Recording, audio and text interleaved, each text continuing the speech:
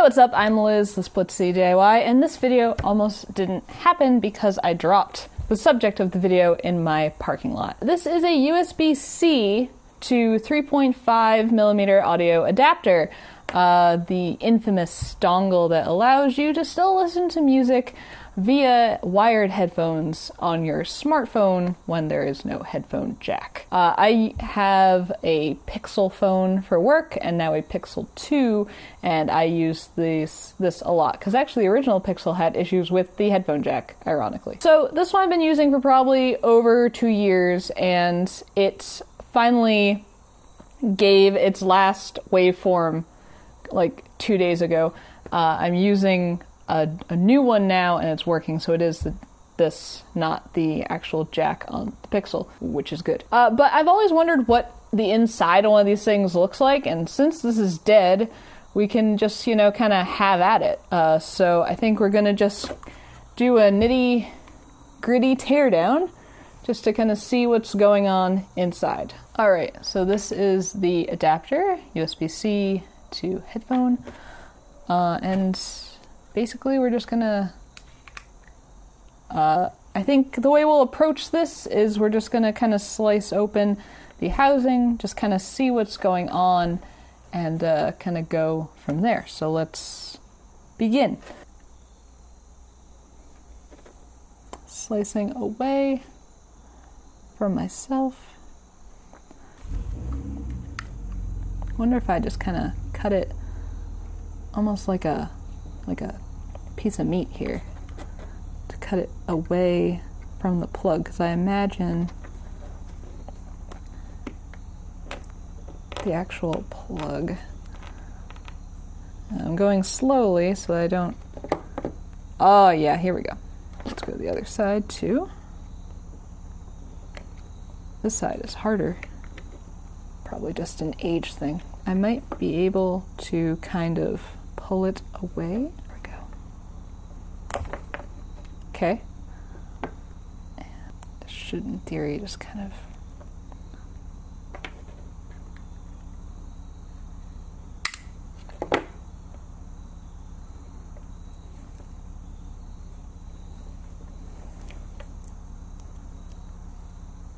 Oh, Look at that. Okay. So we're getting somewhere. I just want to kind of cut this part away.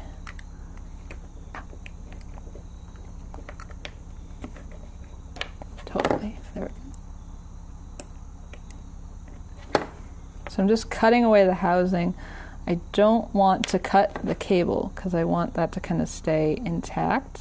So I'm just cutting away the kind of rubber housing.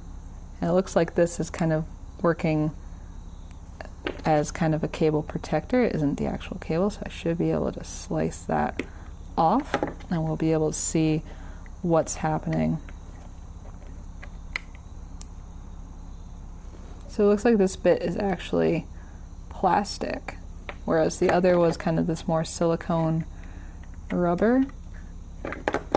Now let's go to this end, then we can take a closer look some of the the rubber has kind of hardened over time, just with age and being bounced around. Here, oh, that's gorgeous. Okay. For some reason that it's not cutting all the way through here. Maybe seems to really not want to give here. I think it looks like it's an actual plastic bit here.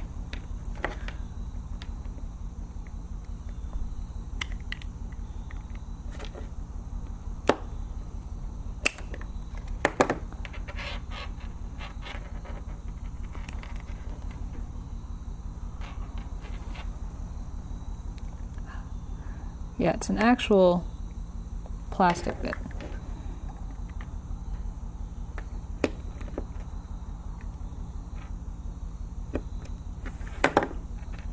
Keep in mind that this doesn't need to stay intact, obviously, but I also kind of want to keep it fairly intact so that we can at least kind of see what's going on or what was going on. So I think we can at least get an idea. Let's come in a bit. So this is the USB-C portion, and you can see there's definitely some circuitry happening. Like that's a cap, I'm pretty sure. Um, I'm curious if I can break into that. See how easy though it would be for it just to start having problems if this gets swung around enough. Even though this is pretty compact, this part was always kind of flimsy, and you just have wire going there. I mean, it's gonna stuff's gonna come loose. Just the nature of headphone. I mean, headphones, even your cheaper pairs, will um, start to kind of lose signal and everything just from being bent around, everything like that. And then over here we have a pretty hardy headphone jack. So that was some shielding. And then we see an actual kind of headphone jack. You can see the circuitry if you've ever used a breadboardy one or anything. So it looks like this is just a straight headphone jack soldered to, to here. So the logic's all happening here, it seems like. Let's see if we can break into this. Try to see how best we can attack this. Probably better if I cut it out of here. So let's let's just break it free here. Okay, that took nothing. I think these got loose. I think that's what happened here. Okay. So I'm just peeling off some shielding tape. So after sheer brute force of just shredding off the metal housing with some sadly abused tools, um, we have the actual PCB for the USB-C to audio. So it's definitely wrapped in this like tape and it feels like it's kind of encased in this kind of resin material. So I'm gonna try to peel off the tape and see if we can kind of get a better idea of what's going on with this silicone here. And I promise you didn't miss anything with the metal being brutally sheared off, just as you really probably aren't missing too much here with me peeling the tape. My goal here is just to kind of, you know, take a gander. I'm not expecting to see anything groundbreaking. Oh, I think I am peeling the resin off. Wow, okay. We're getting there.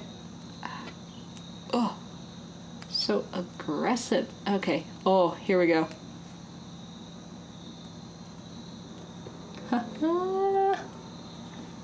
Come in for a closer look. Okay, so there is the board. There we go. The board. Looks like we've got a big IC here. I assume that's probably the USB logic. I'll put the uh, names up on the screen. I don't think we need to diagnose it fully. Uh, and then on the back, we've got, it looks like one IC there. I'd assume that's probably the audio codec. And then we've got uh, probably an op amp. It looks kind of like an op amp, maybe. I actually ripped some of the USB C metal. Fascinating. So I was carrying this around in this little housing the whole time. Uh, more pro- this, I guess. Interesting. All right, just a quick uh, and kind of aggressive teardown. Uh, if you like this video, toss me a thumbs up. Leave a question or comments down below. I'll have links to data sheets, if applicable, uh, down in the description. Uh, but thank you for watching. Subscribe more content like this. I've got a few other teardowns that won't be as violent planned. Uh, and until next time, this has been Blitz City DIY.